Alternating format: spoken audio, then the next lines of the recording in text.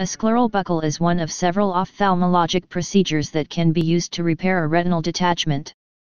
Retinal detachments are usually caused by retinal tears, and a scleral buckle can be used to close the retinal break. The use of scleral buckling will occasionally limit pupil dilation or constriction with no clinically significant pattern. Scleral buckles come in many shapes and sizes. An encircling band is a thin silicone band sewn around the circumference of the sclera of the eye.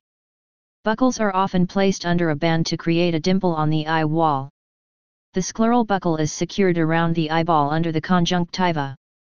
This moves the wall of the eye closer to the detached retina. It also may move the retina closer to the vitreous. This alteration in the relationships of the tissues seems to allow the fluid which has formed under the retina to be pumped out, and the retina to reattach. The physics or physiology of this process are not fully understood. Retinal detachment surgery usually also involves the use of cryotherapy or laser photocoagulation. The laser or cryotherapy forms a permanent adhesion around the retinal break and prevents further accumulation of fluid and redetachment.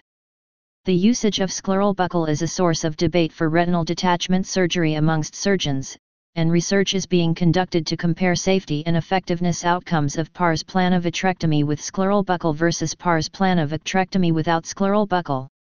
Scleral buckles are done using local or general anesthesia and are often done as outpatient procedures. In the majority of treatments the buckle is left in place permanently, although in some instances the buckles can be removed after the retina heals. The buckle may also be removed in the event of infection. A link between scleral buckles and Adie syndrome may exist. Results from two randomized controlled trials of 216 patients comparing retinal detachment outcomes from pneumatic retinopexy versus scleral buckle found some evidence suggesting that scleral buckle was less likely to result in a recurrence of retinal detachment than pneumatic retinopexy. Please subscribe and thanks for watching.